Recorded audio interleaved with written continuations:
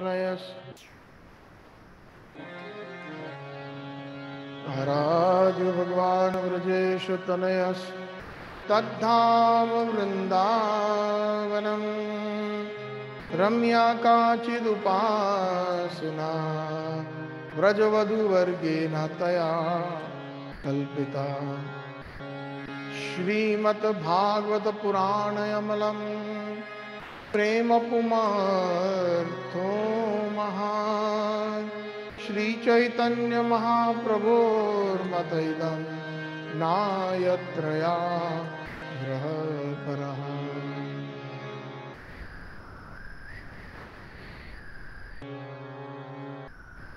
श्रीचैतन्यनित्यानन्द श्री अद्वैतसीता जय जय श्री चैतन्य। जय नित्यानंद जय अद्वैत चंद्र जय गौर भक्त वृंदा जय जय श्री चैतन्य। प्रभु नित्यानंद श्री अद्वैत चंद्र जय गौर भक्त वृंदा Mm-hmm.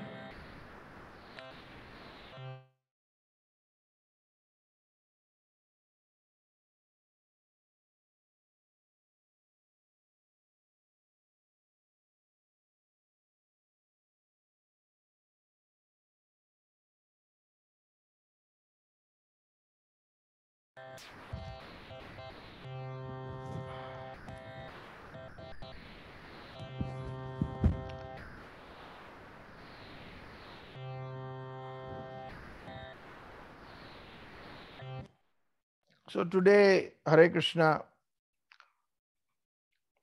Sunday the 23rd, 2022, we will be, by the mercy of Guru Gauranga,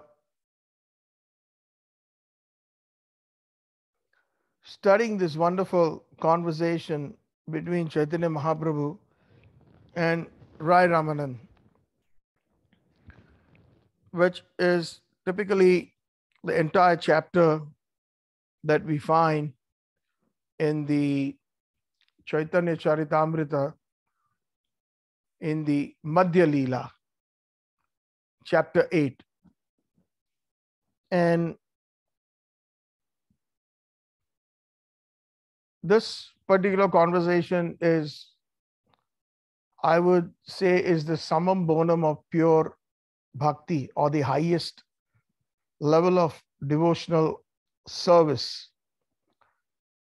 If by the mercy of Srila Prabhupada and the Acharyas, if we can even grasp some of the fundamental points of this conversation, certainly it will help us in regards to our perspective of what highest devotion is. So I will be going verse by verse of this very important conversation.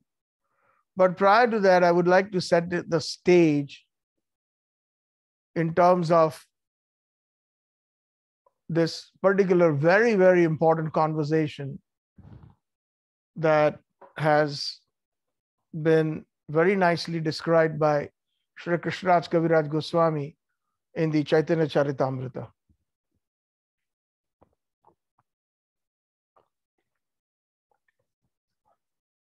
Hare Krishna.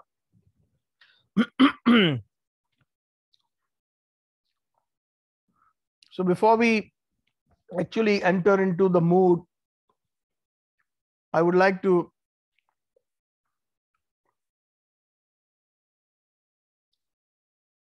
glorify both of them, Mahaprabhu and Rai Ramananda, with a beautiful verse that says as follows Sancharya Rama Bhidabhakta Meghe Swabhakti Siddhanta chayamrutani गौराब्धिरेतैः अमुना वितीर्ण तत्ना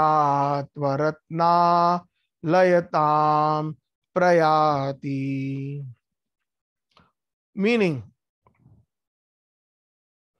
Shri Chaitanya Mahaprabhu is a boundless is unlimited is the nectarean ocean Rama अब्दी where he has established the conclusions of the highest devotion, known as the Bhakti Siddhanta. Conclusion means Siddhanta. So the highest conclusions. And his devotee, Sri Ramanand Rai, who has been described in this verse as Gaurabir Etar Amuna Vitarnes, Bhakta Meghe, Bhakta Meghe as the devotee cloud, who is laden with the pure devotional love, the Siddhanta as taught by Chaitanya Mahaprabhu, as in the heart of Mahaprabhu, his devotee Ramanand Rai is that huge cloud who Mahaprabhu has filled with this Bhakti Siddhanta, the conclusions of pure devotion. And when Mahaprabhu experienced that rain of Bhakti Tattvas, because in this conversation, Mahaprabhu is asking questions and Rai Ramananda is raining, he is pouring those conclusions. And when Chaitanya Mahaprabhu experienced that shower of rain of the bhakti siddhantas or the bhakti tattvas or the conclusions of bhakti, that the cloud known as Ramananda showered upon him, he was transformed into an ocean of jewels. How beautiful this verse depicts both the most munificent personality, Chaitanya Mahaprabhu, and his nectar laden cloud, Sri Ramanand Rai.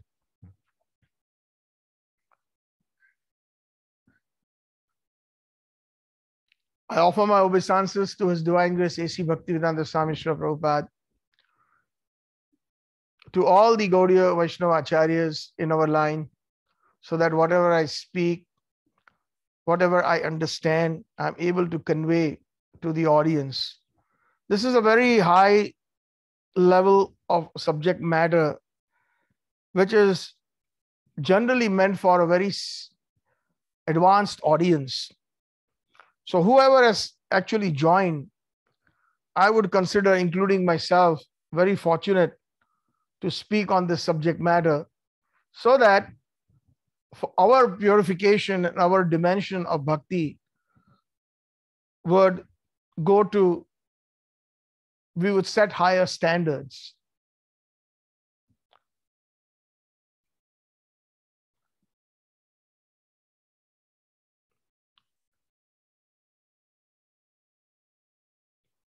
In this particular samvad or this con samvad in Sanskrit means conversation. And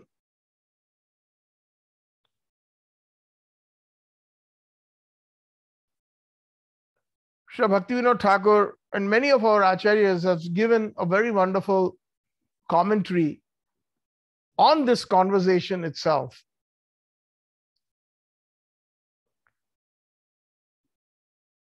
When Chaitanya Mahaprabhu, after taking sannyas, he went to Puri, Jagannath Puri, on the request of his mother.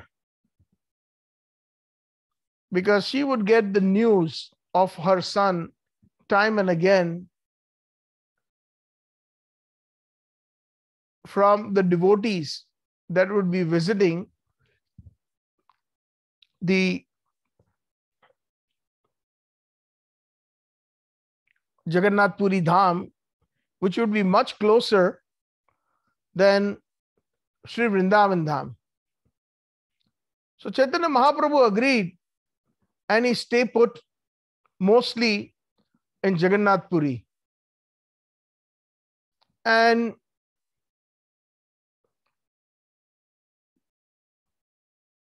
Chaitanya Mahaprabhu met many, many wonderful devotees, his associates, Advaita Acharya, Gadadhar Pandit, Srivas Acharya. They all used to visit from West Bengal. They used to come to Jagannath Puri time and again. And in Jagannath Puri itself, there was uh, the great Bhavanand Rai and his sons. One of them was Rai Ramananda. And one of the most leading priests or acharyas at that time in Jagannath Puri was Sri Sarvabhauma Bhattacharya, who Chaitanya Mahaprabhu bestowed a lot of mercy. And he was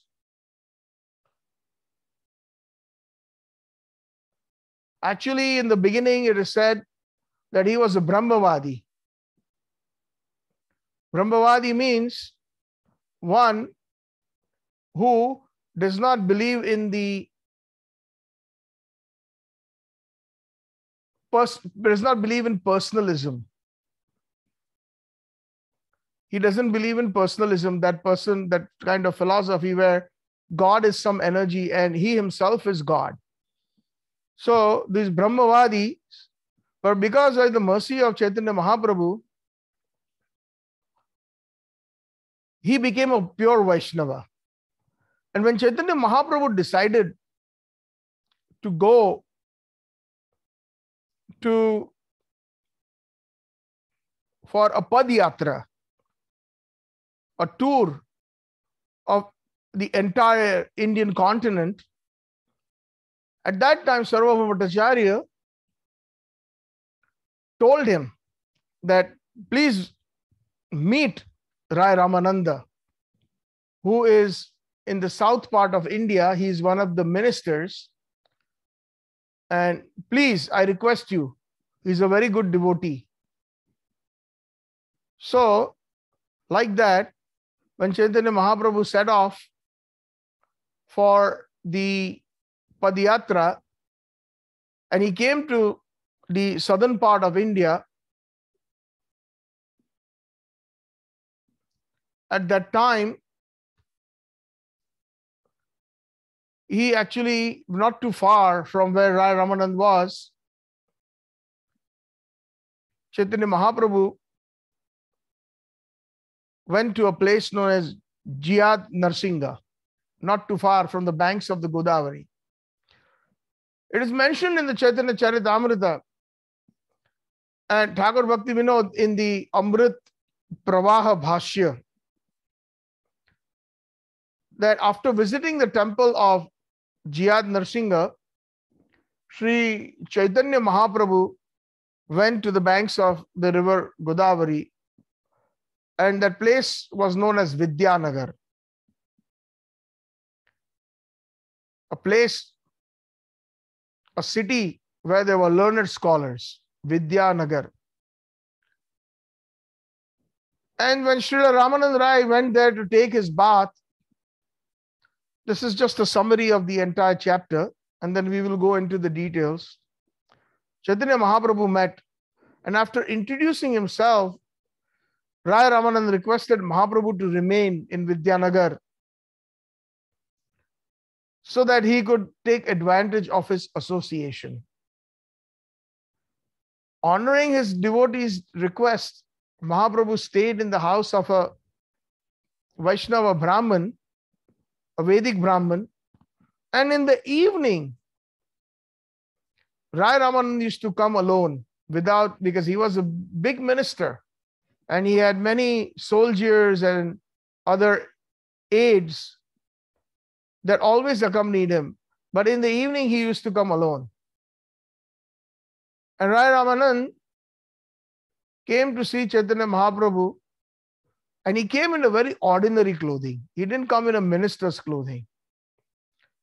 This is a very nice example that is set that no matter how affluent maybe we may have positions in the society either as aristocrat aristocrats or business magnates or maybe somebody who is in a ministerial role or even the king or the prime minister or the president. When one approaches the lord or lord's pure devotee then one should be very humble and not show off their opulence. So Rai Ramanan, he came in an ordinary dress and he offered his respectful obeisances to Chaitanya Mahaprabhu. And here it is amazing that Chaitanya Mahaprabhu starts asking questions. Chaitanya Mahaprabhu asked Rai Ramananda, what is the object and process of worship? And he has to substantiate with the verses from the scriptures. Supposing if he makes a particular proposition that this is the object of life or this is the of mankind and the process of worship is such and such, then it should not be something that is whimsical. So, that is another very important philosophical point that we all need to take home. Following in the footsteps of His Divine Grace Prabhupada, everything should be as it is. Hmm. Because our thinking, feeling, willing, in, when we are here in this material world, we are subject to the onslaught of Maya, of illusion. And we have these four defects. We are subject to illusion. We are subject to inebrities. We are subject to inclination to cheat. And we are also subject to uh, there's a fourth one. I call it the four eyes, like I as in I. Illusion, inclination to cheat, uh, inebrities, meaning making mistakes. And there's a fourth one. I cannot recollect that at this point. So, in other words, what we are trying to say is that we are subject to these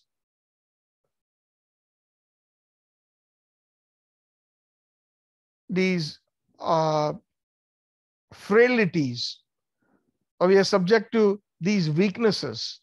And if we are subject to these weaknesses, then we are not able to comment or understand the spiritual subject matters, which come from a higher domain. And that higher domain is not subject to the personalities who reside there or who come from there, they are not subject to illusion, mistakes, etc.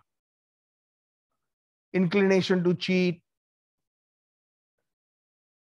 We all have that. Even a little child, you know, when when something breaks and if the child has broken something in the house, she'll say, No, no, no, no. I did not do that, mother.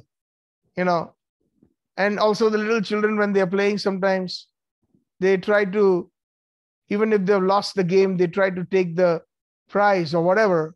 So they have an inclination to cheat, even right from the time when they start speaking and walking, because that is the, the influence of the three modes of material nature. The mode of ignorance, tamogun, the mode of passion, rajogun, and the mode of goodness, which is Satogun. So we have to hear subject matters, especially about spirituality, for those who are not subject to these conditions from non conditioned souls. And it is so important that the Supreme Personality of Godhead, in his most munificent incarnation as Chaitanya Mahaprabhu, set the rules that yes, Ramanand Rai, please tell me what is the goal of life and the process of worship, but it has to be in accordance as it is as per the Vedic literatures.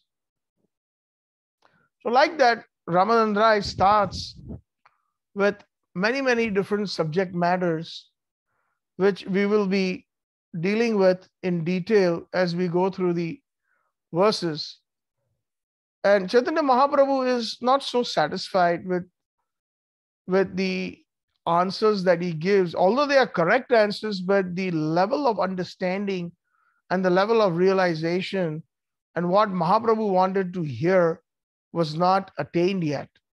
So eventually, Ramanand Rai has started glorifying the residents of Vraj, including the topmost residents of the Vraj, the milkmaids of Vraj, the gopis. And then further, he describes the glories of Srimati Radharani, where Chaitanya Mahaprabhu, he actually, due to the thundering of that cloud, Rai Ramananda, when it burst, Chaitanya Mahaprabhu uh, showered in that rain and became an ocean of jewels. So I start with text number one of Sri Chaitanya Charitamrita.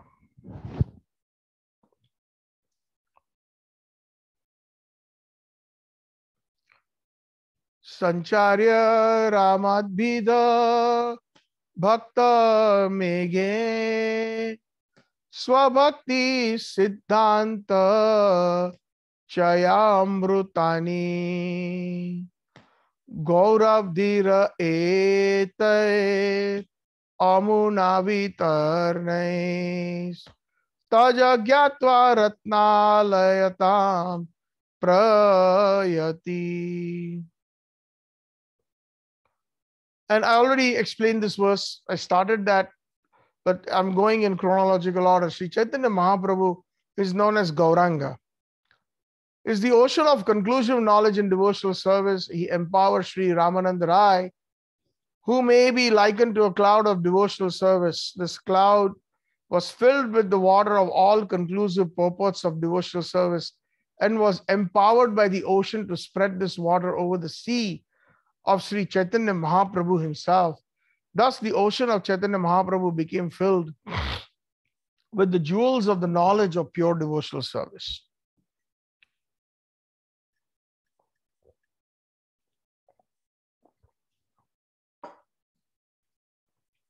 So, Mahaprabhu is known as Gauranga. Gaur means golden, and Ranga means complexion. So, that personality whose complexion is golden. And why is his complexion golden? Because he is Sri Krishna.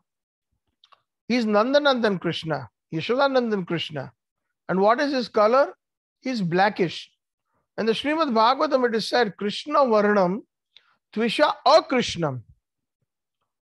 Pango Parshadam. San Kirtanai Prayer Yagyait Yajanti hi sumedashaha. Meaning, Krishna is blackish. The word Krishna means black also. There's more than one meaning of the word Krishna. Krishna also means dark or black. So Krishna Varnam, Krishna is darkish in color, but he appeared as Krishna Tvisha. Tvisha means the complexion or the color of his skin was Akrishnam. He was golden in color. And the reason is because Chaitanya Mahaprabhu, when he came, we all know there was external reasons and internal reasons. And the external reasons was to uh, basically preach the glories of the holy name. Hare Krishna, Hare Krishna, Krishna Krishna, Hare Hare, Hare Ram, Hare Ram, Ram Ram, Hare Hare. And to give, inundate the whole world through the process of chanting the holy names, of chanting the Hare Krishna Mahamantra,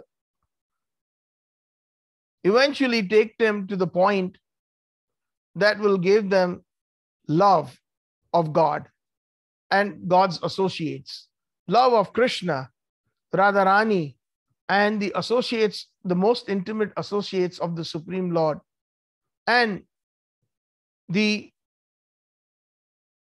lover of Krishna, Radhaji. The service, that was the external reason. But what was the internal reason? Shri राधाय Pranay महिमा किदृशो वन्य स्वाद्यो ये न अद्भुत मधुरीमा किदृशो वा मध्य। सौख्यम च अस्य मद अनुभावत कीदृशम वेत्ति लोभात।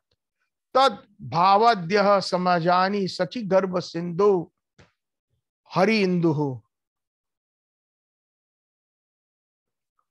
to glorify Radhaya Pranaya Mahima, to glorify the love of Sri Radha. Kidrisha Vanyeva Swadyo Yena Adbhuta, to taste his own sweetness. Madhurima, to taste the sweetness as Sri Radha felt when she was in association with Sri Krishna. Madhya Saukyam Cha Asya, to get that kind of bliss that Radharani obtained, Madha Anubhavata Kidrisham, he developed that Lobaha, Veti Lobahat. Krishna developed that greed of attaining the mood of Radharani. Tad bhavadya samajani sachi garba sindhu hari indu. And therefore he appeared in the womb as the full moon as it arises in the western horizon. Similarly, he appeared as the full moon in the womb of his mother Sachi. So this is the internal reasons. And when he decided to come down, rather, and he said, I don't think it's a good idea for you to go just like that because the when you do obtain my mood, your situation will drastically change. You will be rolling on the floor on the ground, in the dust. Day and night you will be crying. Nayana galadashru dharaya vadanam gad gad gira pulakir nichitam vapu.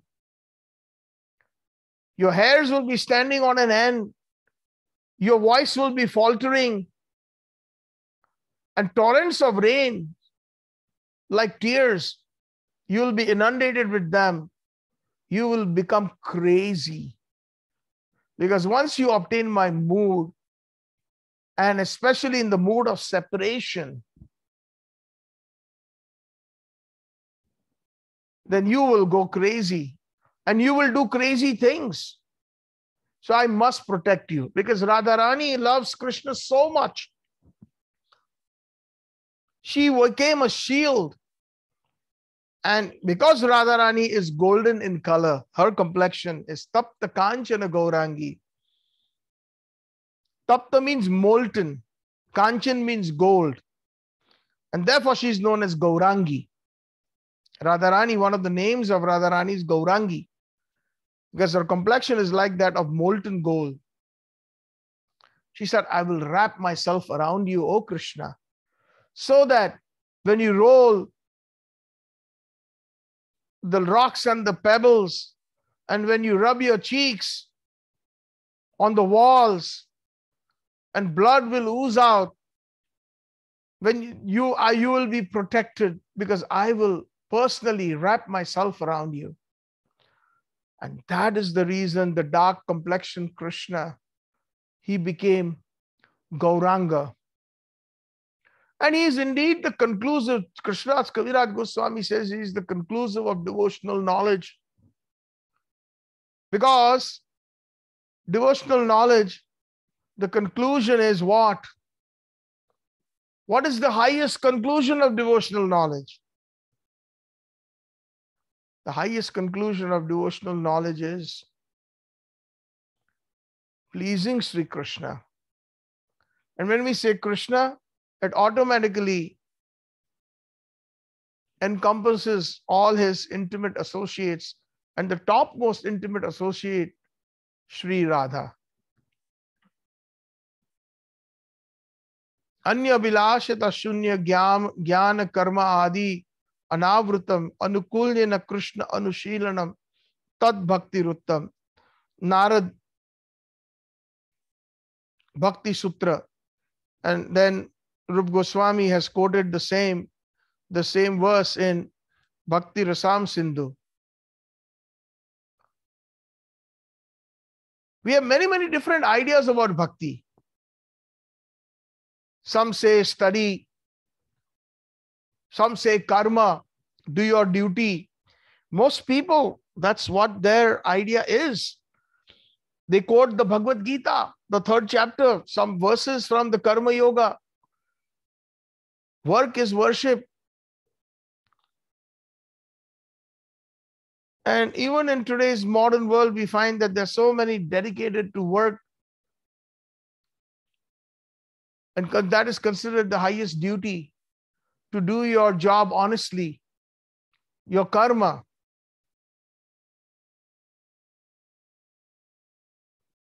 That's one concept that's floating around since time immemorial. For some, bhakti or devotional service is studying the scriptures. Only studying the scriptures and not understanding the highest or the deepest rooted knowledge that is there, then that is on the platform of knowledge or gyan. That is, will not lead to pure devotional service.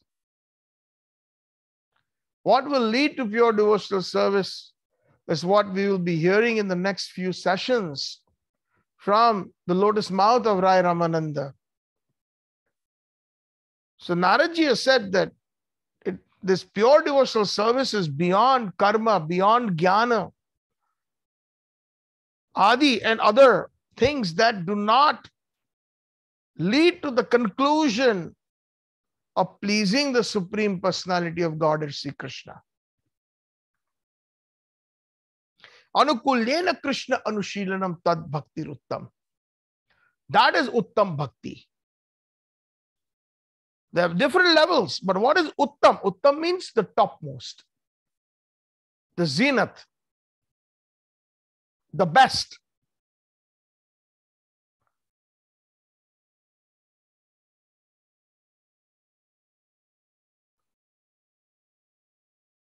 Sometimes the Supreme Lord is so kind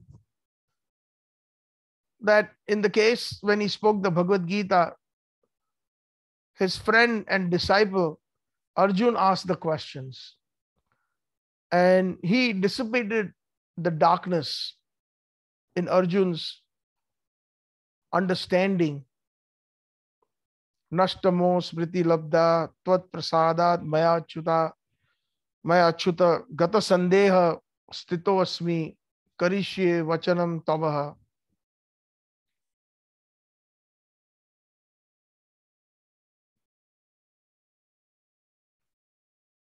Arjuna asked many, many questions.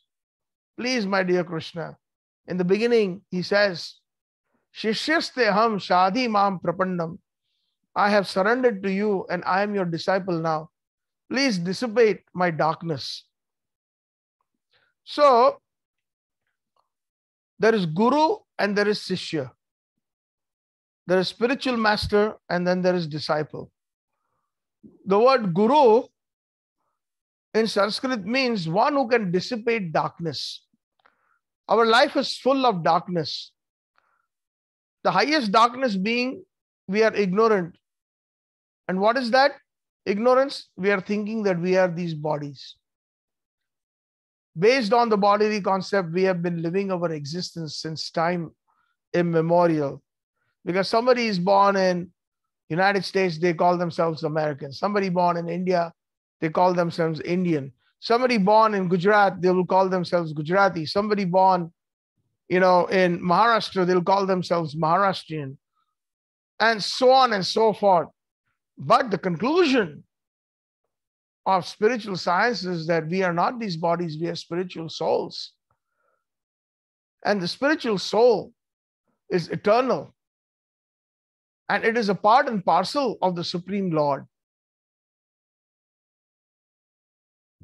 But when we identify, just like a crazy man, when he's drunk or under the influence of controlled substances, he starts hallucinating and he calls himself the king. He calls himself the prime minister or the president. Illusion. And due to the same way, if we can apply the same example, we are under illusion because of the illusory potency of Sri Krishna, the external potency known as Maya. So we all need especially even we need teachers and professors for material knowledge. We need for spiritual subject matters, which is Vigyan, Vishesha Gyan, Iti Vigyan. Vigyan or Vigyanam is a combination of two words, Vishesh plus Jnana. Vishesh means topmost, very special knowledge. And that knowledge is not material, it's about the spirit. Who am I? Where do I come from? What is my relationship with the Supreme Lord? Somehow or the other, I am in this material world, controlled by the three modes of material nature forcefully. How can I get out of it? So, these inquiries, if they are made to a proper realized soul who is known as Guru, he can eradicate our darkness. Guru means also one who can eradicate darkness. And how is it done? Tadvidhi pranipatena pariprashnena sevaya. By Krishna has shown the method in the Bhagavad Gita that one should be very submissive, humble, and inquire from a realized soul and serve the realized soul. Tadvidhi pranipatena pariprashnena, ask questions. Sevaya, serve that soul, that spiritual master. Upadakshanti jnaninas tattva And what kind of a person? Not any ordinary person who is simply under the modes of material nature himself is struggling. No, not to such persons, but somebody who has seen the truth, tattva darshinaha, or somebody who at least speaks the truth that he has received in the disciplic succession. And you and I, we can all be those persons as long as we don't twist or add or delete anything in the transcendental truth as it is. So, Guru is meant to be asked questions. We should serve in a humble status, and Guru will eradicate our darkness by giving answers. And we see so many wonderful examples in the Vedic culture even in the in Christianity, Jesus had 12 principal disciples and they asked so many questions. And Jesus eradicated, he clarified their doubts. Similarly, in the Vedic culture, we find Krishna is the guru, Arjun is the disciple, Arjun is asking questions, Krishna is answering, clarifying all the doubts. In Srimad Bhagavatam, we find Sukadeva Goswami is the Guru, Parikshit Maharaj is the disciple, And Srimad Bhagavatam is full of questions that have been directed to the Guru. Uddhav is like a disciple, although he's a friend, like Arjun was a friend too. But he asked so many wonderful questions to Krishna in the last leg of Krishna's pastimes before he wound them up. Uddhav was given instructions by Sri Krishna. But here there is an amazing thing that is happening. It's the other way around. Here we find that the Supreme Personality of Godhead, who is Krishnam Vande Jagat Guru, is asking the questions. And here and the devotee, Rai Ramananda, is supposed to satisfy the Lord with answers based on scriptural evidence. This is indeed an amazing, amazing phenomenon, extremely rare. And what is the reason behind it? The reason behind it is more than one. Because Chaitanya Mahaprabhu he wanted to glorify his pure devotee Rai Ramananda. Because he knew that Rai Ramananda is the most perfect personality that will answer all his queries, or rather, he would quote so many wonderful scriptural evidences for the benefit of mankind and for the highest of the highest truths, when Mahaprabhu would relish through the lotus mouth of Rai Ramananda. Now, we all know that Chaitanya Mahaprabhu is none other than Krishna in Golok Vrindavan, the son of Nanda Maharaj, the son of Mother Yashoda, who appeared approximately 535 years ago in Gaudadesh in Bengal, in the western hemisphere of India, western part of India. And he is the most munificent avatar because he came in the mood of Radharani, giving his own bhakti. But who is Rai Ramananda? Rai Ramananda is none other than one of the most intimate friends of Sri Radha, known as Vishakha Sakhi. Radharani has many, many uh, Prana Sakhis. Prana Sakhis means as good as her, her air, life air. Uh, like we say, you know, uh, bosom mates. So without them, Radharani feels incomplete. You know, day and night they are there with them. So who are the Pranasakhis? The, the eight different innermost friends of Radharani, Lalita, Vishakha, Tungavidya, Rangadevi, Sudevi, uh, uh, etc. So, like that, there are eight, and Lalita and Vishakha, amongst the eight, they are the most closest to Radharani. So, because the conclusion of pure devotion of Radharani, what Radharani feels for, for Krishna, who better can Krishna hear from than the most intimate associates of Sri Radha, and one of them being Rai Ramananda or Lalit or, or Vishakha Sakhi. And therefore, Krishnadas Kaviraj Goswami says that he was empowered by Mahaprabhu.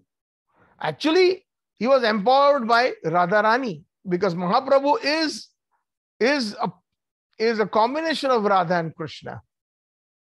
So, in order to instruct Sri Krishna, Radharani, who is a part of Mahaprabhu, inspires Ramanand Rai to give wonderful conclusions of the highest concept of devotional service. And it is said that by Rasikacharya, it is mentioned that whenever there is the wonderful Madhurya Rasa pastimes the conjugal love pastimes between Radha and Krishna and the gopis of Vrindavan, uh, Krishna accepts Vishakha as the guru. Krishna accepts Lalita as the guru. Krishna is, accepts Tungavidya Devi as a guru because sometimes there are discrepancies, uh, loving discrepancies between Radha and Krishna. And then, uh, in order to mediate the differences, they need a mediator or somebody who can guide and bring a solution to the problem. Actually, these are not problems. For lack of words, we have to use certain words that we are used to in this in our material vocabulary.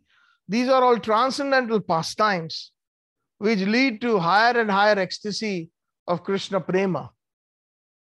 And in that, we will find that there are a lot of different uh, sarcastic moods, uh, opposing camps, opposing views that only uh, acts as catalysts to take in, uh, to to enter into higher and higher levels of prema or love. So at that time, these gopis they instruct Krishna, and Krishna, like a like a disciple, he sits down quietly and starts listening to them. Uh, sometimes it is Vishakha Sakhi, sometimes Lalita, sometimes Tungavidya Sakhi. So, like that. So, similarly, we find here that it is here Krishna who wants to attain something. He wants to attain the mood of Radha. Just like if we want to attain something really bad, whether material or spiritual, we have to have that utsaha, dhairya, nishchaya. We should be determined. We should be enthusiastic. We should be very patient. So, here from the Rasik angle, we can say that Nandanandan Krishna wanted the mood of Radha. He had not attained it yet because that attainment comes in the last chapter, in the last section of Chaitanya Charitamrita, in the Antya Leela, in the 20th chapter. We are right in the Madhya, in the middle, in the 8th chapter. So here, the inspiration or the catalyst is, is Rai Ramananda to help Nandanandan Krishna obtain the mood of Radharani, and therefore Rai Ramananda was empowered, just like he was filled with a water laden cloud with all the conclusive purpose of devotional service.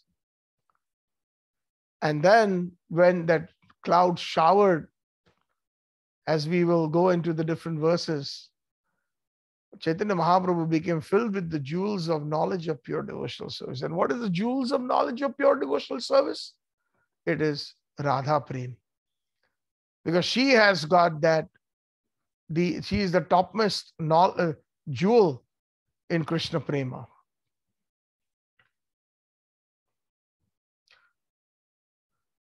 Jaya Jaya Sri Chaitanya Jaya Nityananda Jaya Dvaita Chandra Jaya Gaura Bhakta Vrinda. Krishnadas Kaviraj Goswami prays all glories to Chaitanya Mahaprabhu, all glories to Lord Nityananda, all glories to Advaita Acharya, and all glories to all the devotees of, of Sri Chaitanya Mahaprabhu. Very important.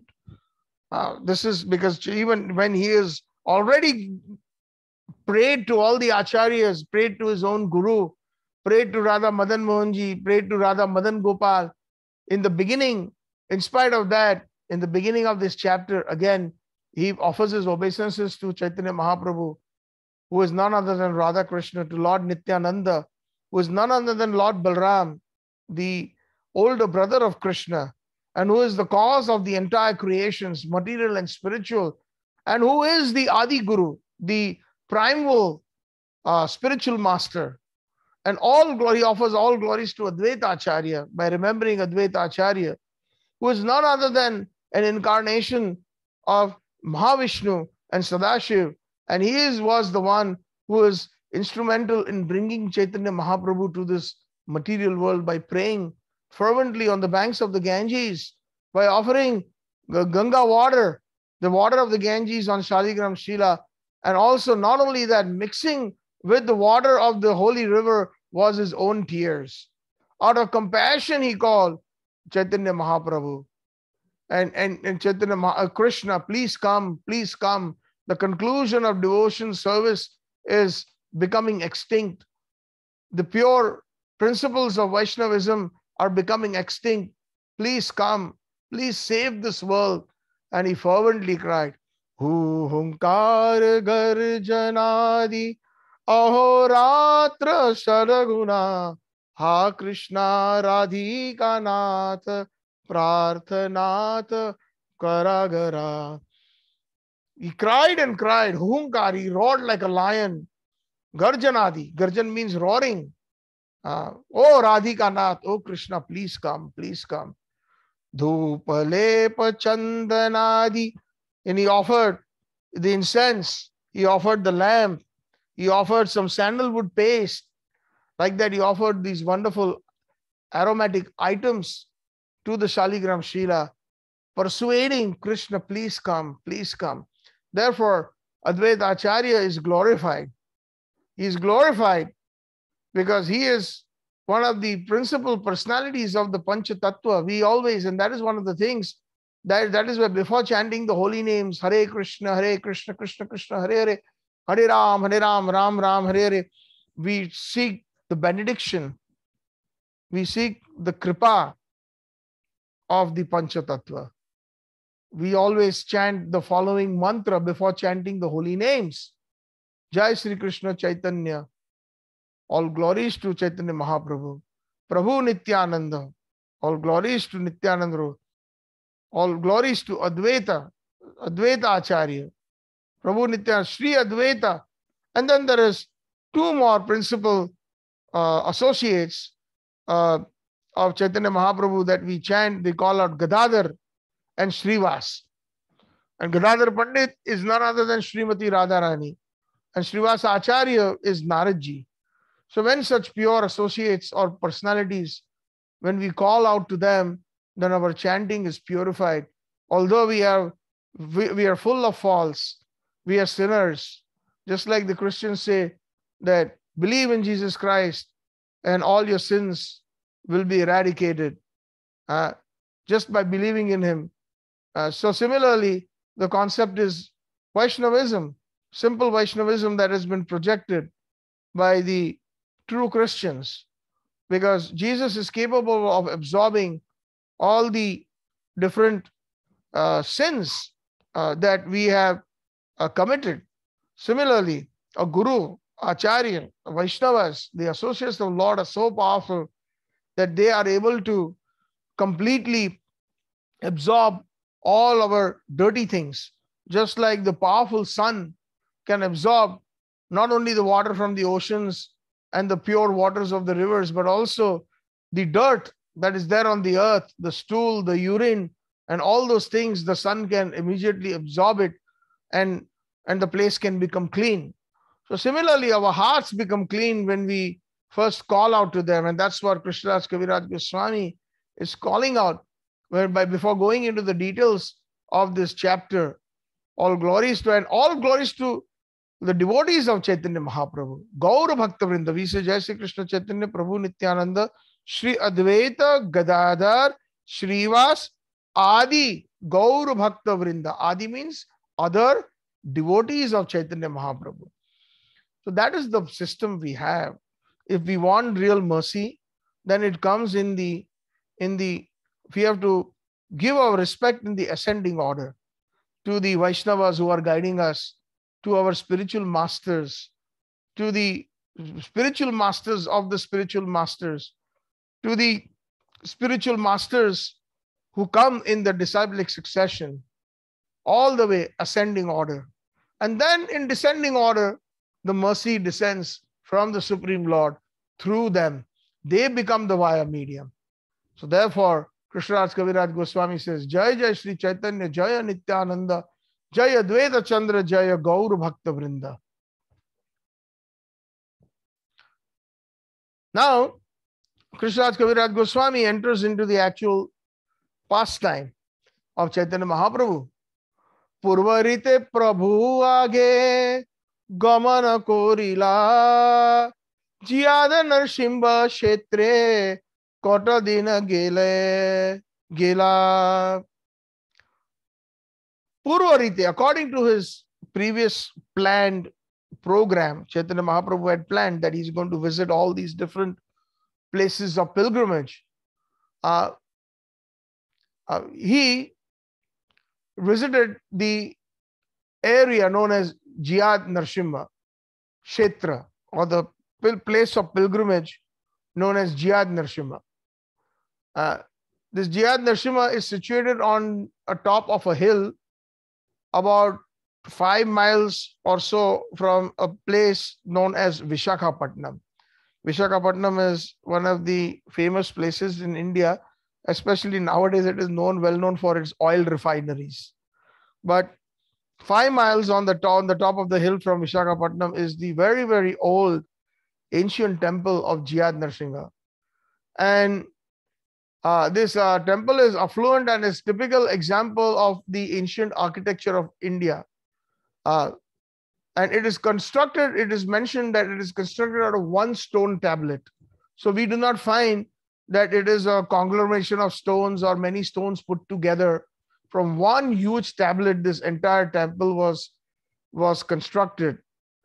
And um, it is said that that there are in the residential quarters of this temple there are priests and devotees and at the present moment there are many residential quarters to accommodate visiting devotees so if somebody goes to south india we can follow in the footsteps of chaitanya mahaprabhu just like bhaktivinoda thakur says in his uh, poem poem or, or bhajan Shuddha Bhakata Charana Renu uh, Bhajane Anukula. He says, Gaur Amara Jai Sab Sthane Korilo Brahmana Range Shei Sthan Heribo Ami Pranay Bhakata Sange. Wherever my Chaitanya Mahaprabhu went, I will indeed visit those places uh, uh, in the guidance of those pure devotees who have understood, or in the guidance of devotees who have understood the conjugal love of Radha and Krishna. So, and the original deity of Narsingadev is situated in, in the depths of the temple. And but there's another duty deity known as the Vijay Murti. So sometimes for the for uh, major festivals, the, the the main deity of the temple doesn't leave the temple uh, sanctuary, but the Vijay duty Utsav uh, Vigraha, uh, they are brought out sometimes on the streets, etc., for the festivities so that everybody can take darshan. Uh, so, like this, uh, the priests that belong to the Sri Sampradaya, Ramanuja Sampradaya, uh, are in charge of this particular uh, temple um, of, of Jiyad Narsingha. So, uh, further, it said, Narasimha देखिया coil दंडवत प्रणति। प्रेम अवशे कोयला बहु नृत्य गीत स्तुति। So as Chaitanya Mahaprabhu sees the deities of Narasimha Deva when he takes darshan he offered his prostrated obeisances dandavat pranati dandavat danda means rod danda in in in Sanskrit danda or most of the Indian Vedic the languages that have emanated from Sanskrit, danda means a rod. Danda also means to punish. And generally, one is punished by, by the beating of a rod. So that is why it, there's a double meaning of the word danda. And vata means just like. So when a rod falls on the ground, how does it fall straight down? All the parts of the stick are touching the ground. Uh, just like that, when we are in front of any deities, or in front of a guru or a exalted Vaishnava, we should offer dandavats. Therefore, we say the, the translation in English is obeisances, but dandavats means uh, the, the, there is no such perfect word in English. The obeisances can come as close as possible. Dandavats means just like when, when a rod falls without support on the ground, just like that, we should fall on the ground in submitting ourselves in humility, where all the parts from our palms to our forehead to our chest to our, our, our tummy, our thighs, our calves, our toes, everything is flat on the ground in prostrating.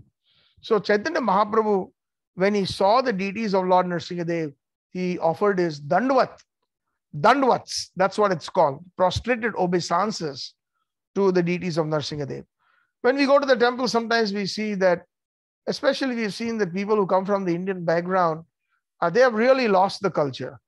Uh, they do not offer the Dandvats, the males should offer Dandvats always in front of the deities. And the women should offer obeisances while uh, not actually offering like a stick, but they should offer it with their forehead on the ground and they should be touching their knees and their elbows. So it's like a half prostration. That is the proper etiquette. But the males should offer full obeisances uh, in front of the deities. Because if we do not, then, then there is some arrogance in us. It's as if going to a museum and looking at the painting or the sculpture of Michelangelo and appreciating it. No, it should not be done. The proper because the deity is none other than Krishna. Krishna's name, Krishna's deities, Krishna's form, Krishna's pastimes, Krishna's uh, uh, places of worship, of Krishna's uh, places of pilgrimage, they're non-different from Krishna. They are Sri Krishna. So the deity is not made of marble or stone or some kind of material element. It could be, but the deity is actually the, the, the Supreme Lord is requested to reside in it. Uh, the spirit is called upon by the pure devotee. And then the spirit of the Supreme Lord resides in that. So that is why it is not called a statue. Uh, people with poor fund of knowledge, they call it, they use the word statue but it is not statue. Statue is of Mahatma Gandhi, or statue is of Lenin, or statue is of of of uh, of some of a great politician or a leader. But it is this is not even a lot of the Hindus in India. They use the word statue. So that is a very very poor fund of knowledge. Uh, it is an offense. Statue is of mortals, uh, but the deity is of of transcendental personalities including the deity of the, the Acharya or the Guru, who is none other than uh, who is empowered by Sri Krishna. So, uh, Chaitanya Mahaprabhu, who is the Supreme Lord himself, he is offering obeisances to his own incarnation as the half man, half, half lion incarnation. Uh, Narsingha. Uh, Singha means lion and Nara means man. So, the Supreme Lord appeared to protect his devotee, the five year old boy Prahlad, to because he was being harassed and and and and and and, and tortured by his own father who was demoniac in nature. But the son the 5 year old son was a devotee. This happened in some satya yuga which is millions and billions and billions of years ago. And it's a perpetual cycle. When satya yuga comes again the incarnation of lord Nrsingadev appears. He appears from a pillar. And he appears to protect because when Hiranyakashipu, the demon father, uh, because the son had so much faith, he says, I will kill you. I will kill you. You are actually uh, calling out to my enemy. The Lord is my enemy. I am the all powerful. Don't you see? Everybody is shaking and shivering. All the demigods, right from the uh, earthly planet to the hellish planets to the heavenly planets, they're all subservient to me. I am the powerful. So demoniac persons are like that. They are inimical to the Lord. So he continued chanting the holy names of the Lord. Not only that, he was uh, he was sent to the demoniac school. And, and the, the teachers were warned by the demoniac father, Hiranyakashipu, make sure he becomes a good demon.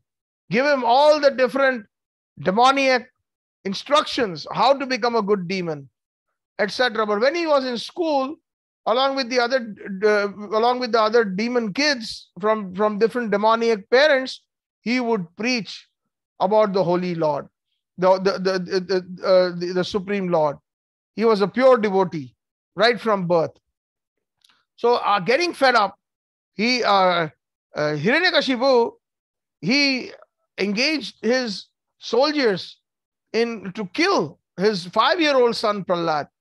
You know, uh, push him from the top of the highest hill, and they did that. And when he was pushed, he he started chanting the holy names: Shri Hari, Shri Hari, Hare Krishna, Hare Krishna, Krishna Krishna, Hare Hare, Hare Ram, Hare Ram, Ram Ram, Hare Hare, and he was saved. He was dumped in an empty, very dark well full of very poisonous snakes that were infested with poisonous snakes. And again, he started chanting the holy names. Like that, there were many methods employed to torture and kill him. They tried to, to crush him under the foot of a crazy elephant. And when, the, when he chanted the holy names, the, the heavy foot of the elephant fell like a soft pillow on the belly of Prahlad.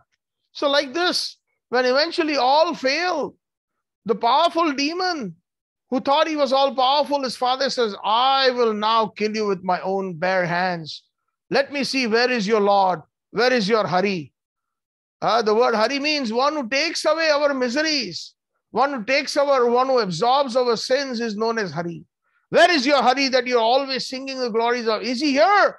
Is he in this palace? Is he going to save you from my wrath? And he says, Yes, he's present every them, everywhere, my dear father.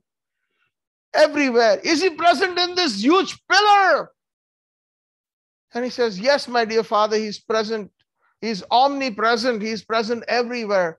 Let me take care of your Hari right now. And he immediately strikes with his powerful fist. It is said that Hiranyakashipu, the father of Prahlad, had the strength of 10,000 elephants and he struck that pillar hard and the pillar cracked and out came out there was a thundering sound and the firmament went dark and all the demigods started shivering and uh, and the lions and the jackals they started and the the elephants started passing urine and stool out of out of the the tumultuous sound that happened from that pillar and out came out an amazing personality known as Narsingha half man, half lion.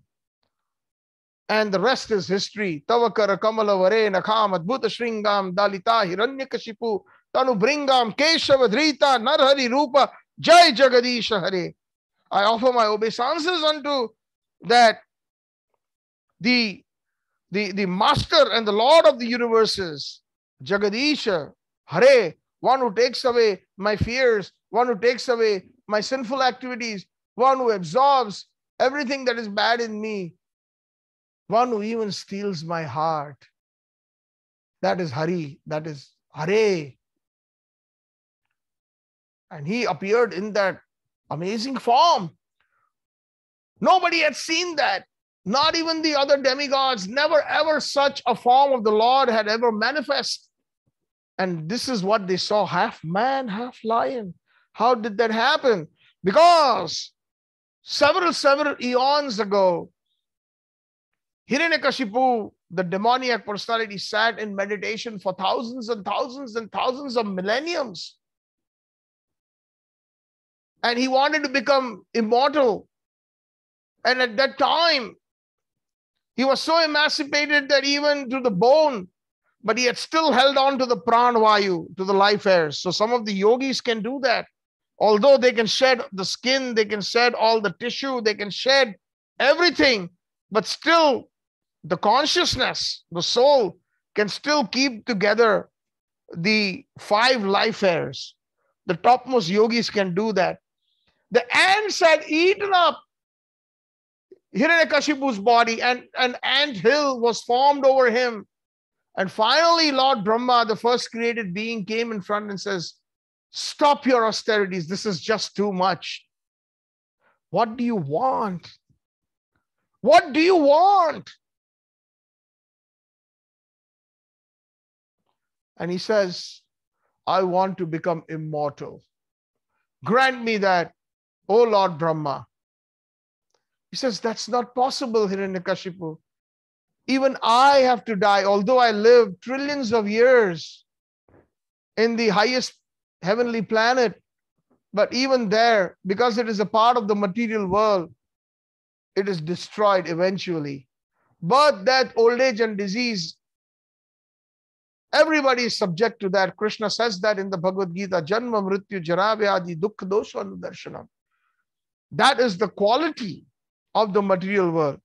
Etern- eternality is only found in the kingdom of God, Vaikuntha, and the planets of Vaikuntha. But in the material world, everything must come to cease one day. Jatasya hi dhruva mrityu. Krishna says that everything that is born must die in this material world. So, I cannot grant you that. But Hiranyakashipu was very tricky. He said, okay, grant me that I will be never be killed by any man. And reluctantly, Lord Brahma said, so be it, tathastu. Grant me, Lord Brahma, that I should not be killed by any demon, nor should I be killed by any demigod, nor should I be killed by any weapons, nor should I be killed in my palace, outside my palace, nor in water, nor in sky, nor on earth, nor by any living being, nor by any dead being. And he covered, nor in the day, nor in the night. He covered all his bases. And Lord Brahma said, So be it. He granted him those wishes, and then from then forth on, he became almost invincible. He created havoc in the entire universal systems, in the hellish planets, on the earthly planets, on the in the heavenly planets. Everybody shivered when he simply raised his eyebrow and he simply when he simply mocked and laughed. But somehow the other, the Supreme Lord, had to fulfill the desire of Lord Brahma who was his devotee when he gave all these benedictions. I should not be killed by man or animal. So he appeared in the form of half man, half lion, Narasimha. Narasimha dekhiya koila dandvat pranati. He fought with him. He appeared at about noontime and he fought with, with uh, the demon Hiranyakashipu almost until twilight, taking him to the to the threshold of his own palace. And when twilight happened, he immediately picked him up, put him on his lap, and tore him apart with his nails. Neither in the palace, neither outside the palace, neither by any weapon, but simply by his nails. Because the nails are considered neither dead or alive, just like hair. Ah, amazing. So Keshavadrita Narhari Rupa Jai Jagadisha Re Tavakar Kamala Vare Nakam. Your beautiful lotus-like hands and the chisel-like nails tore apart the chest of Narsing, the, the stomach of Narsingadev, his intestines. Right at the right moment, at twilight, neither day or night, neither with any weapon, neither with taking the taking in his own incarnation as any of his other incarnations or any demigod or as a human being or as a particular animal. He fulfilled his desire, and therefore, whenever we need protection, the Vaishnavas always think of Lord Nrsingadev for protection.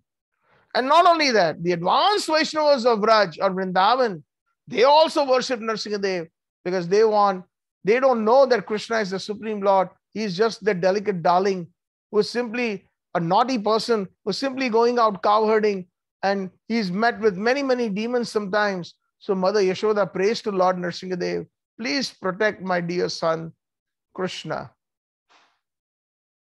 So they're like that. There are many, many ancient temples of Lord, Nrsingadev in India. There is one in Govardhan, which is over 5,000 years old, near Apsara Kund and Naval Kund, just before Puchrika Lota, on the inner Parikrama mark my dear good friend Dr. Nandpran Prabhu has taken darshan. So these are some of the places that we should visit. Gauramar Jai Savasthane Korolo Brahman Range Shai Sthan Heribo Ami Pranay Bhakat with those persons or with those devotees, not with some guide who is going to, you give them 500 rupees and he's going to simply, you know, for your money, he's going to show you all the different places. No, we don't need guides. We don't need to be tourists. That devotion spirit has to be there when we visit the places of pilgrimage. And under the guidance of those devotees who have understood the conclusions of pure devotees, Pranay Bhakata Sanghe. Prem Koila Bahu Nritya and Chaitanya Mahaprabhu, with a lot of love, started dancing. Chaitanya Mahaprabhu was known as Gora Natwar.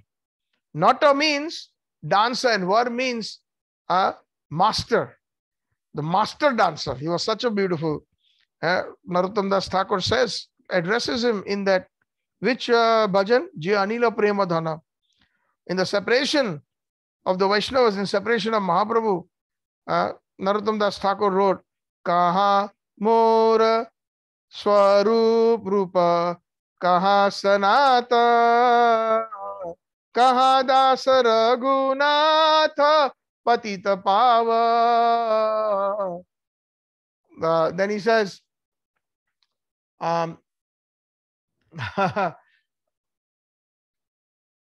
जे सब संगीरा संग संगीला कैले से कहलो विलास कोथा गेला मोरा गौरा नटराज a few words are I'm missing here and there, but the essence is that where is my Gora Nataraj? Where is the my Goranga Mahaprabhu is the master dancer, uh, Gora Nataraj. Even Lord Shiva is known as Nataraj because he's a ecstatic master dancer. We see the famous uh, deity of Nataraj, where Lord Shiva is standing on one leg on, on the Mount Kailash, and he is like an expert dancing. So even Mother Kunti calls Krishna uh, in Kunti Stava because he is a very good dancer, Krishna. Krishna used to uh, impress the gopis by dancing. Every time the gopis would say, I would give you some butter, I will give you some buttermilk, Krishna danced for us. Because Krishna was a Natvara Vapu. He was an excellent dancer. Krishna displayed his dance qualities during the season of winter when he danced on the serpent Kalia, uh, on, on, on, on, his, uh, on the hoods of the Kalia. Why did he do that? He could have easily killed the Kalia underwater when he jumped into the Jamuna to when he was playing ball with his with his coward friends, the ball went into the Jamuna, and now there was no ball to play. So all the coward boys were thinking, oh, what shall we do now? We are far from home. We don't have another ball. Krishna immediately, you know, went onto the long branch of the Kadam tree and he jumped into the, the deep waters of Jamuna. And there he found the ball. And not only that, he saw the, the demoniac serpent Kalia who was creating havoc in in in in in Gokul. And the waters were poisoned because of his poison. Even when the the the, the, the birds were flying overhead over the Jamuna River river, uh, they would die because of the poisonous fumes that emanated. Cows could not drink the water. The the Vrajvasis, the ladies, could not draw water from the river Jamuna because of the poison because he had reigned there. He, he was creating havoc. So Krishna had a purpose. That ball was one of the purposes.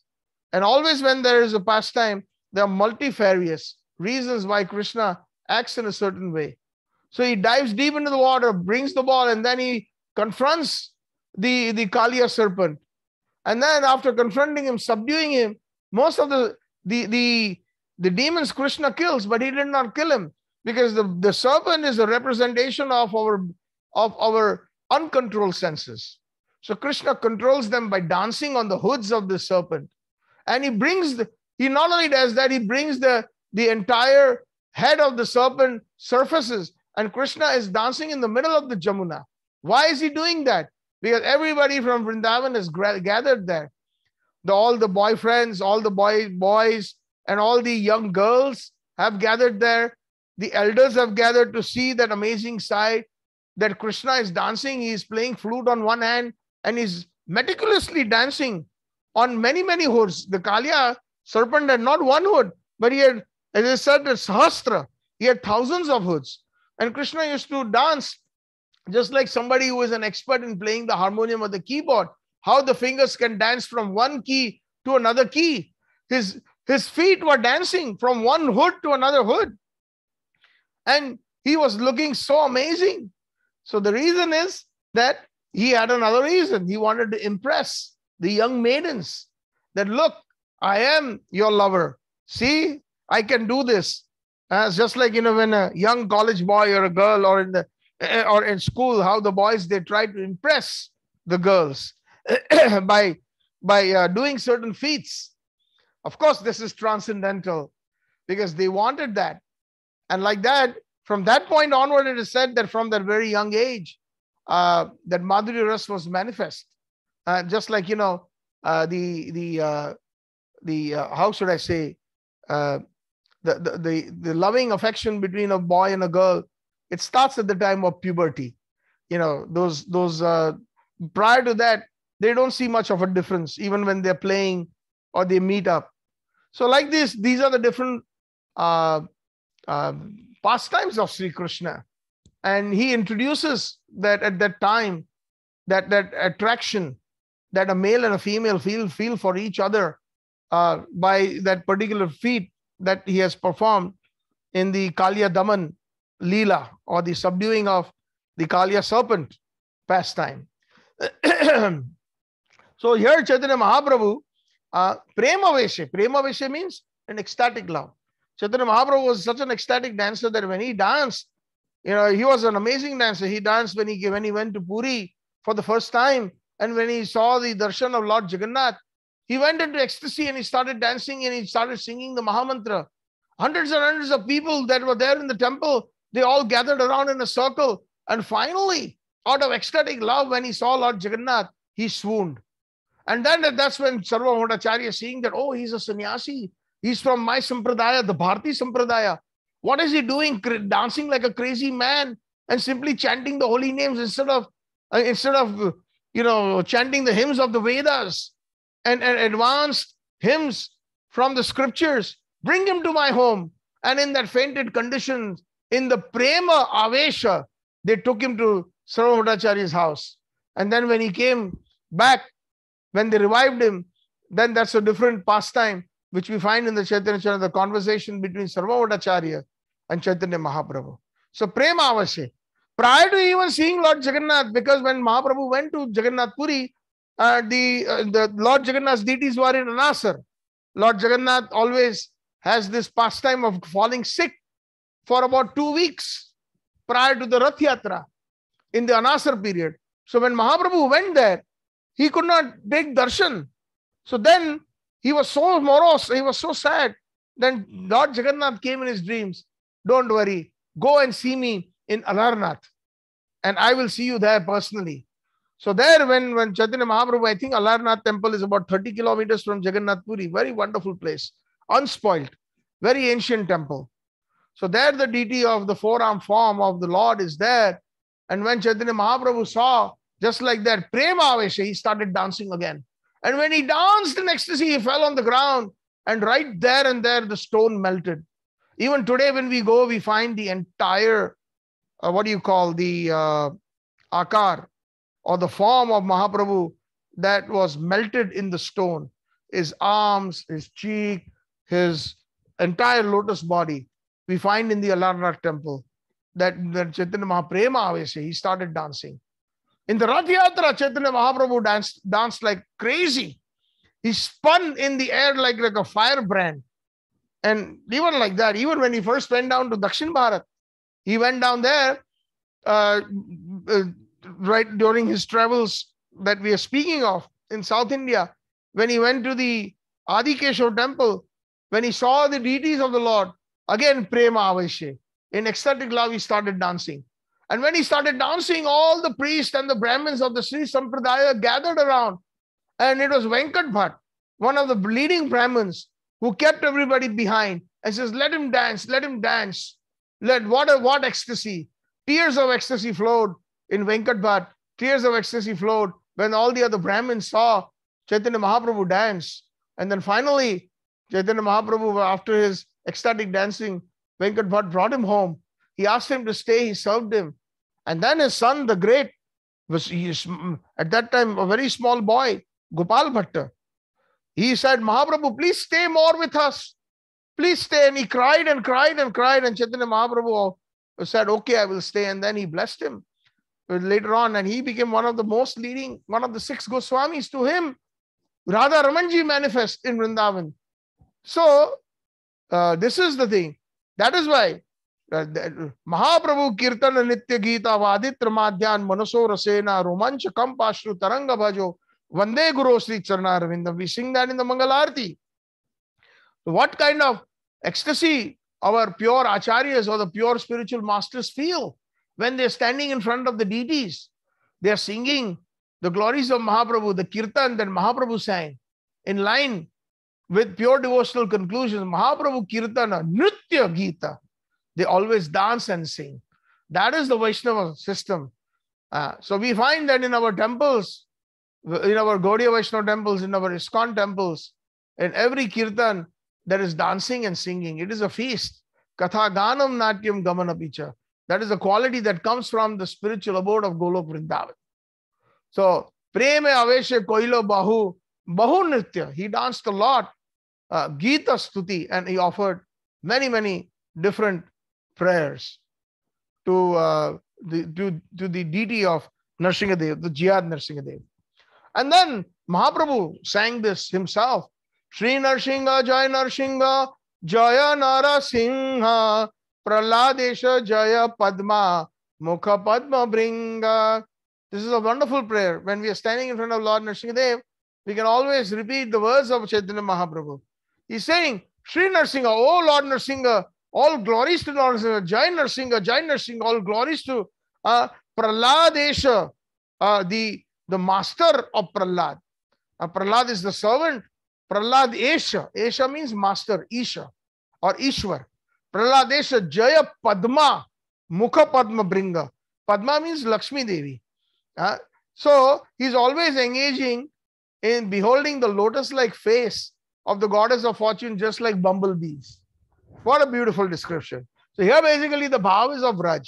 You know, if we see Chaitanya Mahaprabhu, although although describing Narsingadev and, and Lakshmi Dev is always tasting the sweetness of Lakshmi, here it also means in, in a deeper sense that it is Krishna who is always tasting the beauty of the gopis of Vrindavan.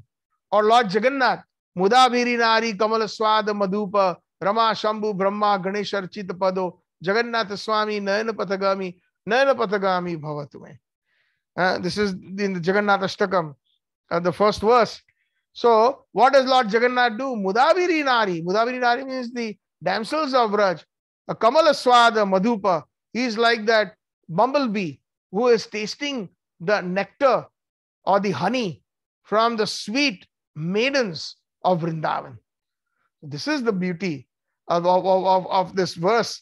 In inner, inner beauty, that projected the glories of Narsingadev, projected the glories of Prahlad Maharaj, but internally Chaitanya Mahaprabhu is still thinking of Vrindavan. Uh, this is something very, very secretive, but we can catch it if we have some mercy that has been bestowed by us by our Gaudiya Acharyas. So Prahlad is a Jaya Padma. Padma means uh, Lakshmi Devi, a Mukha Padma Bringa uh, Mukha, the lotus lotus face of Padma, of of of uh, Lakshmi Devi, a Padma Bringa. Uh, the, the the Bringa means the the bumblebee who is attracted by the lotus-like face of of Lakshmi Devi. So so there are different types of Narsinga Dev. There is Lakshmi Narsinga, there is Prahlad Narsinga. Generally, when we sing the glories in the temple after the Narsinga Arti, a lot of the devotees say Jai Lakshmi Narsingha. It is okay to say that, but one should not miss saying Jai Prahlad Narsingha. Because this particular song by Jaydev Goswami and this prayer is for the protection of Prahlad and the manifestation of how Lord Narsingadev appeared. Uh, so that appearance is not the pastime with Lakshmi Devi. A lot of the devotees at the end, after after finishing the Narsingha prayers, Lakshmi Narsingha Dev ki Jai. So, okay, not nothing wrong, but prior to that, one should say Prahlad Narsingha ki Jai. Because we are praying to the Prahlad Narsingha, we're not praying to the Lakshmi Narsingha. Because at that time, the mood is to protect Prahlad. So, you know, we have to be very, that is why Prabhupada has wonderfully said Krishna consciousness. We have to be very conscious. So everything is about, about bhav, you know, wherever we are. So here, this particular verse that Chaitanya Mahaprabhu sang was actually, uh, there's another verse that was composed by Sridhar Swami and Srila Prabhupada quotes in the purport, Vagishya yasya vadane, Lakshmi yasya char vakshashi, yasyate hridaye samved, tam narsingam aham bhaje. So Sridhar Swami, now here he is glorifying Lakshmi Narsingha. Vagishya yasya vadane. Vag means Saraswati. Vaga Isha. Vag means our speech. And Isha means one who is the controller. So whatever we speak, if we are singing, if, if we know verses, if we know knowledge, then the goddess of knowledge is Saraswati. She is one of the expansion of Radharani. So Vagisya Yasya Vadane. Uh, Lord Narsingha is always assisted by Saraswati Devi. The, the, the, the Lakshmi Yasya Vaksasi. And Lakshmi Devi is always resting on the chest of, of uh, Narsinga Dev. Yasyate Hriday Samvitam Narsinga Mahammaji. Uh, the Lord is always complete in knowledge with himself. He's Samvit. He's the Sam, Samvit Shakti. Samvit means Samyak Vitta Iti Samvit. Uh, samyak means everything. Vitta means to know. He knows everything directly and indirectly. In the Srimad Bhagavatam, the very first verse, Vyasdev in the Mangalacharan says, Om Janmadi Yasya Yato Anvayat Itaratascha Artheshwa Abhigya. So Itaratascha, directly and indirectly, Krishna knows everything and is Abhigya. Abhigya means he knows, he is completely cognizant, he is full of knowledge. That is why we also say Satchit Ananda. Chitta means is full cogn- cognizance. So one of the names of Krishna is Satchit Ananda. And we are all Satchitanand Das. Yeah? We are also made in his, man is made in the image of God. Uh, we are part and parcels of him. Mamayamsha Jiva Loka Jiva Bhuta Sanatan. Krishna says in the Bhagavad Gita that all the living entities are his, uh, are his separated parts and part and parcels. There, there is atomic. So we also have the same qualities of Sat Chitananda. Sat, we are eternal. The soul never dies. Chit, uh, right now we are covered because of Maya. We, our real knowledge is covered. But when we are situated in our constitutional position, then we understand, we are fully cognizant that I am a spirit soul and I am a servant of Sri Krishna. Jiva Swarup Krishna Nityaras. That is the chitta part of the jiva. And Ananda, the result is that we are always, once we are situated on that Brahma Bhuta Prasanna Atma platform, we are always Prasanna Atma. We are full of bliss, Ananda. Because we are part and parcels of Sri Krishna, we have those qualities. Because we are, and I've given this example. Supposing if this, this shawl is made of wool, and consider this entire shawl to be a representation of Krishna. And these little threads that we see here, if I take a little thread, uh, which is a part and parcel of this shawl. So, what is the quality of this thread? It is not cotton because this shawl is made of wool. The quality is 100% wool. If this if this is made of some other synthetic material, then the quality will be the same. Just like Sri Prabhupada gives an example that the ocean has the same the, the, the drop of ocean has the same chemical composition as the entire ocean. If we take one drop, it has the same chemical composition, but the ocean is vast. It is infinitesimal. It is great. It is vibhu, but the drop is anu. Anu means very infinite, very small, uh, and, and the ocean is fine, uh, in, infinite. It is very huge. Similarly, Krishna is infinite, but we are being his part and parcels. Uh, we are infinitesimal. We are very, very atomic in nature but we do possess all the qualities of godliness, of the qualities of Krishna. So Sridhar Swami has composed this. So when we are in front of Lord Narsingha, we can say these prayers. The prayers that Chaitanya Mahaprabhu said, the prayers of Sridhar Swami, uh, Vagisya Yasya Vadane Lakshmi Yasya Vakshasi Yasatri Hriday Samvit Tam Narsingha Mahavaji. And then there is the Narsingha Kavacha that is there, especially meant for the protection. And Lord Narsingha has protected many, many devotees, just not Prahlad. So, uh, similarly, there is a commentary in the first canto of Srimad Bhagavatam where Sridhar Swami uh, describes Lord Nrsingadev in this way. But Sridhar Swami is one of the most uh, amazing commentators on Srimad Bhagavatam. Uh, many, many centuries before Chaitanya Mahaprabhu. But Chaitanya Mahaprabhu was very fond of hearing the commentaries of Srimad Bhagavatam that were compiled by Sridhar Swami. So, Pradlada Ruda Ladam Vidya Vidaranam Sharadendu Ruchim Vande Parindra Vadanam Hari. So, the meaning of this is Pralada Rudaya Alladam, one who gives joy to the heart of Prahlad.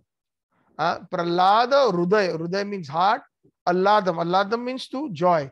Uh, Bhakta Vidya Vidaranam, and is always, you know, within his heart and always kills the knee signs or the ignorance that attacks the devotees. So that is the reason. Sarva Bhakti Vigna Nashak Narsingadev Bhagwan Ki Jai. We get so many Vigna. Vigna means obstacles uh, in our spiritual life. So we pray to Lord Narsingha to remove them, not only for our physical protection, but also for our spiritual protection. Because Bhakti Avidya. Bhakti means pure devotional service, and Avidya means uh, the, the, the nescience, things that will keep away, keep us away from pure devotion. Vidaranam, uh, that he that he will protect us from that nescience or from that ignorance. Sharada Indu Ruchi Vande. And his mercy is just simply like the moon on the autumn night on Sharad Purnima. Sharanda Indum Ruchim Vande. Para Indra Vadanam Harim. and he is, his face is like that of a lion. Para Indra. Indra also uh, one of the words in Sanskrit is lion. Lion is no Indra is actually meaning king. So the the king of the forest is a lion, right? So uh, Para Indra, Para, Para Indra means uh, he has got Para, para Indram Vadanam Hari, the one who has got the face of a lion. I offer my obeisances unto him. So beautiful. See, this is what real poetry is when we actually hear from pure realized souls. Every word, Pralada, Rudaya, Alladam, one who gives joy to the heart of Pralad. Bhakta, Vidya, Vidaranam, one who takes away the ignorance in the heart of the of the devotee. Sharad Hindu Ruchim Vande. And he is so beautiful as, as if as if the autumn moon has arisen. I offer my obeisances into Paraindra, the lion king, uh, Vadanam Harim, who has taken the the, the form or the body of a lion. So very beautiful. So I think I um, I will uh, stop here now. This is a beautiful chapter. This may take several sessions, uh, but it's worth every word that we can absorb. Because if we do so much, maybe we can retain so much. But hopefully, you know, we beg the mercy that we can uh, grab the essence. You know, these verses, whether we know them by heart or not, are not so important. And even if we know them by heart, but if we do not know the conclusions or we do not feel them in our heart, then it is as useless. So that is why we should not be on the platform of Gyan. Uh, Gyan karma adi anavritam. Beyond Anukulina Krishna anushilanam. Tad bhakti ruttam. So this is what our Chaitanya Mahaprabhu, this is just the stage that is being set here before he actually reaches the place where he meets uh, Rai Ramanand, but he's very close by. Uh, that is uh, um, uh, that that is close to the to the this, the meeting place or the rendezvous between Rai Ramanan and and Chaitanya Mahaprabhu uh, in a town called Jiyad Narsingha. And that way, some of the other, by the mercy of Krishnadas Kaviraj Goswami, we were able to glorify a little bit about Lord Narsingadev. Because here we, we glorify not only the devotees, Jaya Jaya Sri Krishna Chaitanya, Jaya Nityananda, Jaya Advaita Chandra, Jaya Gaur Bhakta Vrinda. We, we glorified Mahaprabhu, we glorified Nityananda, we glorified Advaita Acharya, we glorify all the devotees of Mahaprabhu and we glorify Narsingadev Bhagwan. Um, so it's so amazing that perhaps there was a sequence here that Chaitanya Mahaprabhu had already, and, and, and is mentioned now that I, I, I recollect the few verses before, that Chaitanya Mahaprabhu had planned this uh, as planned. So he had a sequence where he was going to go. And then just before meeting Rai Ramanand and uh, himself, he visited the Jaya Jiyad Narsingha so that Narsingadev Bhagwan can take away, he can take away all the avidya that is there within our hearts so that when Mahaprabhu meets uh, Rai Ramananda, we will be able to absorb, hopefully with a pure heart, their conversation. So amazing.